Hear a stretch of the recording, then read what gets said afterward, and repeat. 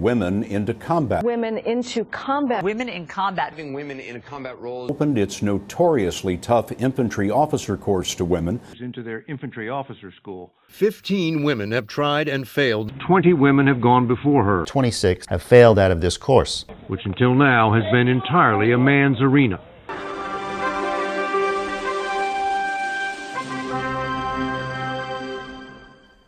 Last 40 years, the Marine Corps has trained its infantry officers at a secretive and rigorous school called Infantry Officer Course. The school only selects the most physically and mentally fit officers for duty as infantry platoon commanders and has a reputation for breaking even the toughest of the Corps' new lieutenants. Traditionally, the school has been a boys' club for Marine officers, but all that changed in 2013 when, at the urging of Congress, the Marine Corps began allowing women to attend the course. Since 2013, 26 women have attended the course, and not one of them has survived longer than two weeks.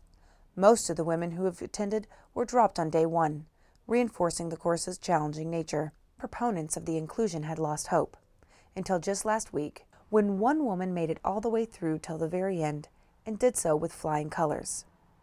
Second Lieutenant Curtis, a strong and physically intimidating lieutenant, is the first woman to make it through the challenging school. But there's more to this lieutenant than meets the eye. Second Lieutenant Curtis, the first female to graduate infantry officer course, is currently on legal hold, pending investigation, for lying about her penis for the duration of her time in the Marine Corps. Lieutenant Curtis declined to comment. According to investigators, the first female to graduate the school was discovered to have a penis by one of her peers. I had the chance to sit down with the peer that made the discovery. He was more than willing to comment on record. Here's the thing. I've been trying to fuck her since like TBS. Or er, him. I mean, the whole time I figured she was just playing hard to get.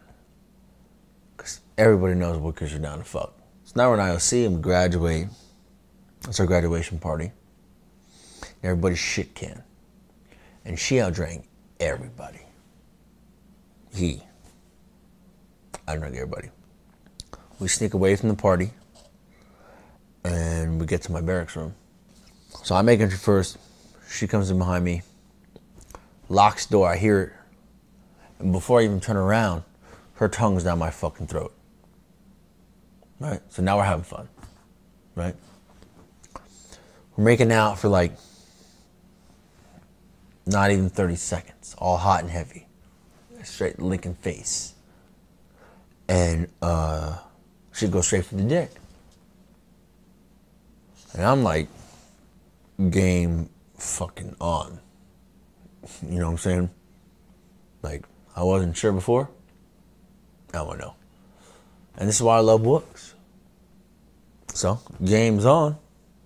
And I'm trying to get her fucking pants off, right? And I'm fucking trying to get that fucking belt buckle off, and she's trying to get mine off. And in, I mean, a fucking blink of an eye, my my pants are around my ankles. I'm butt ass naked, fucking dick out full mass, dripping on myself, because I know I'm like seconds away from fucking the most solid piece of Wookiee fucking pussy the core Corps ever seen. Right? I mean, I fucked a lot of Wookiee pussy. But this is the first Wookiee pussy to get through I-O motherfucking C. I mean, most dudes don't get through this shit. You know?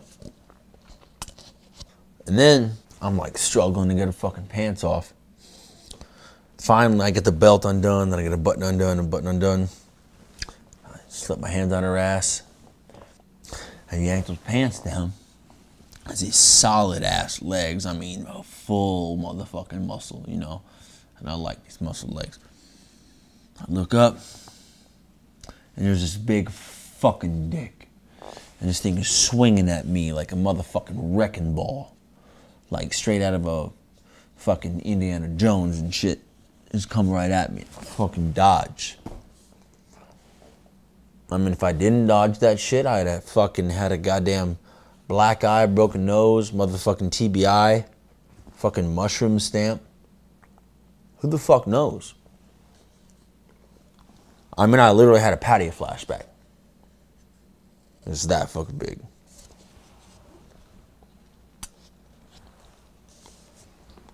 Most of Lieutenant Curtis's peers were indifferent to the news. One unnamed peer was willing to comment. So, what's your opinion of Lieutenant Curtis? Well, Lieutenant Curtis is kind of a badass. I mean, at no point did I ever actually look at her like she was a woman. I mean, she's just that solid. And, you know, it actually came as no surprise to me that she had a penis. And as you can imagine, a lot of us wanted to know what it was like. So when I asked O'Malley, he said it was kind of like a stack of tuna cans, very veiny, a very veiny stack of tuna cans. I had the chance to sit down with the CO of the Secretive Infantry Officer course. He was astonished by the news. How it got through officer candidate school without that big dick flopping around during last minute PT showers is a mystery to me. I mean, that kind of deception has got to be worth at least a NAM. That thing fooled MEPS, OCS, TBS, and hell, it would have fooled all of us if that O'Malley wasn't such a damn horn dog. Lieutenant O'Malley reached back out to us for comment. Look, I just want to say on record, that was pretty much the biggest fucking dick I ever seen in my life. And hey, not to sound fucking gay or anything, but when you spend 11 years in the infantry, you see a lot of fucking dicks. Okay?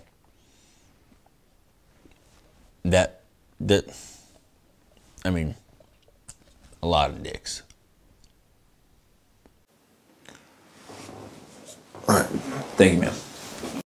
There's still speculation amongst investigators as to whether Lieutenant Curtis is a man or just a woman with a penis.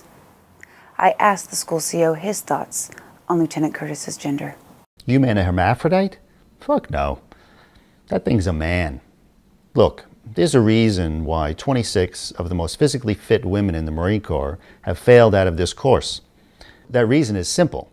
When you put 120 pounds on the back of a woman, she crumbles like a fucking crouton. I hate to see him go, but after all this bullshit, there's no way he could stand in front of a grunt platoon. Damn shame if you ask me. Big dick, though. Questions have been raised as to how this deception was able to continue for so long. Some members of Congress are questioning the Marine Corps' ability to police their own. The Commandant's office could not be reached for comment. This is Tiffany Rivers signing off for Frontline News.